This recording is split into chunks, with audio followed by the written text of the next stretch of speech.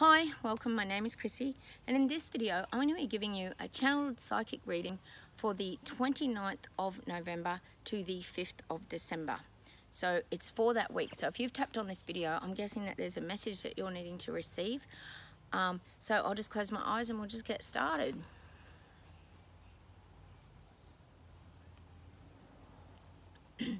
Now, the message and the title for this um, week's reading is Feelings of Despair and Compromise. So, it feels like we've had to compromise a lot, and this is around everything in our lives. This week is going to be about making compromises. We're going to feel a little bit of despair as well, which kind of, um, to me, highlights kind of that sadness and that little bit of. Um, it, it's almost like that little bit of hopelessness. But this week you've got to start to learn to compromise. So this could be compromising um, with work, it could be compromising with family. I feel like getting close to Christmas, there's going to be a lot of compromising. We're going to have to become much more flexible around family situations. Um, this week there feels like there's been a bit of a smokescreen, so it's like um, the smoke's been sort of blown up and things are a little bit hidden, but um, the smoke screen screen is going to actually clear this week. So you're going to start to th see things with a lot more clarity in your life. Um, compromising something that we all have to learn to do. I feel like sometimes we only see things from our own perspective and I talk about that a lot but everybody is seeing things from their own perspective and we've got to be very respectful oh excuse me I've just got a bit of hay fever at the moment. um, so we've got to be very respectful of other scenarios as well. So that's what the message of compromise is. It's just learning to sort of um, understand other people's perspectives, and that's a very healthy thing to actually do when it comes to getting together with people, when it comes to making decisions at the workplace. You've got to compromise and you've got to embrace other people's um, input, and that's really the message um, for the week getting into um, December. Now there's a lot of feelings of animosity as well. Um, I've been talking a lot in my past few videos about the anger that's been rising in people. There's also a lot of animosity um, around decisions, around where we've been sort of taken to. I feel like that that journey has not been a straight path and we keep sort of deviating off the path and it's very um, frustrating to a lot of people out there. We feel like we're kind of it's that definitely one foot one step forward and like three steps back. It feels like we're kind of are we moving forward or are we not moving forward? Are we going forward? Are we not going forward? And it's that there's a lot of animosity and, and uncertainty still that is in the vibration this week of the first week of December because we're all sort of wanting to, you know, head towards Christmas with a lot of this freedom and feelings of happiness and joy. And we're trying to find that little bit of, um, sorry, sunshine in all of our lives. And it's like we're still being sort of held back. And I think a lot of that animosity is around those feelings of being sort of held back and not really, it's like not taking off your seatbelt yet. It's like when you pull into the runway and it, in at the airport and they say you have to keep your seatbelt on until you actually get to the actual hangar ready to get off onto the terminal rather. And that's how it feels to me. It feels like we've still got our seatbelts on and we've not been told to unclick them yet. So we're still not feeling like we're free to get off this sort of journey or the the plane analogy is what they're using because I think we can all relate to that is we're still feeling like we've got our seatbelts on and we're not quite safe enough to um, to move forward as yet. We're still a little bit of that hesitancy.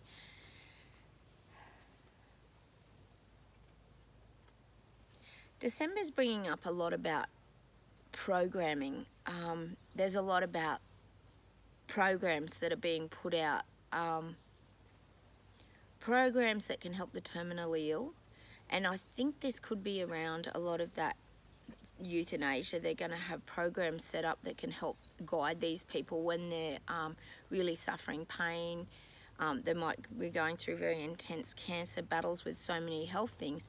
There's a lot of programs that are being set up now that are going to help these people in that transition of their life. And I think we're going to be able to make a lot more of these choices going forward. So I feel these programs are kind of being set up and it's around sort of counselling and um, making sure that person's in the right um, headspace and the right frame of mind because these are big decisions that, you know, these have been things that have been thrown around for a number of years and we want to actually make sure that we're doing the right things by these people. But I, I believe that if people are really suffering intense pain that is not quality of life. And you know we all should have that choice of um, making that transition. If you're exhausted and you're tired and you just want to give up that fight that has to be a personal choice I believe everyone has different opinions about it but I do feel like there's going to be a lot of this program set up to methodically go through the steps to ensure that these people are getting that rite of passage to make that sort of decision themselves. So these are heavy subjects. They're not light things that'll be coming up in December. It's showing like we've all been on this like whirlwind ride. It's almost showing like the, you know, if you've ever been to the the shows here we have the like Royal Easter Show and a lot of these big carnivals which you might relate to. Um, it's like being on one of those rides and we're kind of going up and then down and up and then down or even like spinning around that whirlwind ride where you're standing up I think they call it the gravitron it's kind of showing that energy but now we're kind of getting off that and it's showing that little bit of nausea and, and like someone kind of heaving and having a bit of a vomit. So it's kind of this energy of like it's almost a bit like the after effects. So it's like when you've been on a ride, I know I can't go on rides because I get actually sick for the rest of the day. Some people absolutely love them, I know that. But this is the energy that I'm getting this week. We're going to have a bit of this, it's that last bit of purging. I've talked about purging a lot um, in my latest readings, and I feel like this is that purging of our sort of last bit of anxiety and emotions and, and trying to get back to that place where we feel good because this has been quite a horrible experience for most people and the anxieties and as we can see around the country what's been happening there's a lot of turmoil anxiety fears worries. There's kind of a lot of this energy going on and, and that's not comfortable for people to be in for long periods and extended periods of time. So I feel like that's the kind of energy this week. It's that bleh. it's almost like things have to rise up and bubble out of you. It's that purge. So it's showing me like the rides and that feeling of that little bit of nausea in the stomach. And so you've got to kind of do the things that can literally um, settle your tummy and settle your nerves is kind of the message for the week. So, you know, I, I think of things like you can have a bit of alkalizing powder is really good to settle your gut sometimes. Um, some people just drink like lemonade and things. They're just simple things, but if you can have a good burp, it's that purging of the like anxieties that can be going on in your stomach. So many things can help you. You might just go for a run or do something physical as well. That can really help you. But let those things come out of your body, even if you're just talking to someone and you're saying how you're feeling and how now that things are changing and evolving. Sometimes that's very healthy too. So, you know, don't dismiss going and sort of meeting up with someone, whether you go and have a drink at the pub or you go and just have a coffee. They're really healthy things to do at this time of sort of purging, but I'm definitely getting that kind of ooh, that nausea kind of feeling of it's the uncertainty. I really believe it's a lot about the uncertainty going forward. Like, gosh, I hope this is the last time we have to go through all these things and that we're not going to get shut down again. And everybody's kind of wanting to get rid of the mask. We've sort of had enough. We've had it up to here with sort of pretty much everything.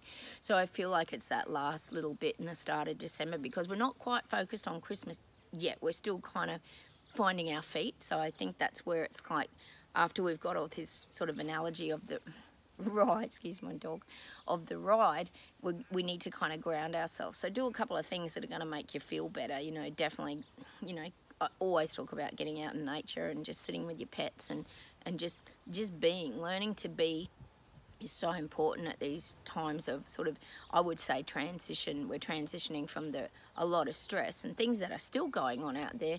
So you've got to kind of find that way to calm your anxieties and your nerves and your fears and the worries and the things that can be going on inside you.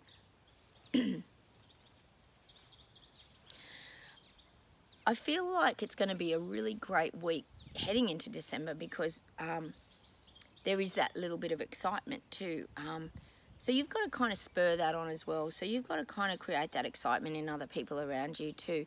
So sometimes just by talking about the fun and what you're going to do at Christmas and how you're going to create that sort of good vibe, you can actually um, put that onto other people. So it's sort of like that, con it's contagious. So if you start to sort of pretend that you're getting excited about Christmas, other people around you will as well. And you can create that. You can create that fun vibe. You know, I know a lot of people when it comes to Christmas, they um, they design their little Christmas table differently every year and they make it fun. And I know my girlfriend's doing something with stags and this kind of theme and different things. You know, we all have different colours that we use and maybe sometimes it's time to freshen these things up and make your house fun and put your lights up outside your home at Christmas.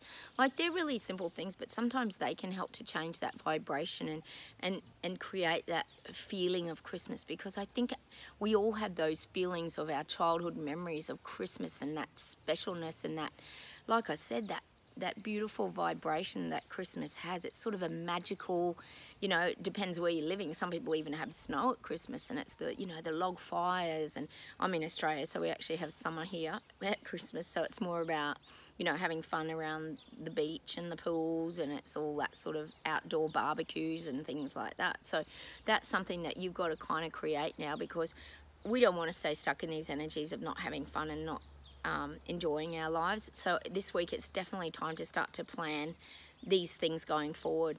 Now look, I know that's a bit of a mixed reading for the week. You know, we go from having, you know, dealing with programs around people uh, wanting to euthanize but you know these are important things too in the world that we need to focus on you know we don't want to get stuck in just everything that's just closing us down. So, and the other important message obviously was to go and have fun. So go and have fun. Focus on the things that you love and the things that you want to do to create that beautiful Christmas because I think we've all earned um, some happiness and some joy in our lives. So think of those memories and, and go back to, well, what did I do at Christmas when I was little? Did I put the twinkly lights up in the trees? Or, you know, what can I do to make this Christmas really fun? Maybe put some beautiful ribbons on your presents under the tree and make them look really great. You know, simple things. Get some new Christmas music.